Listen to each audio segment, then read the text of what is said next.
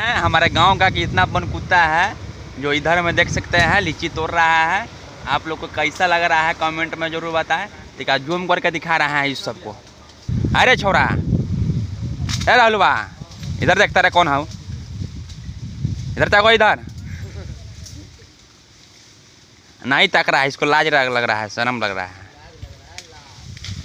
एगो उधर में है देखिए, इधरों में देखिए क्या कर रहा है, बंदर के तरफ़ पेड़ पर चढ़ा हुआ है। লে লে না। যা গিয়ে গেল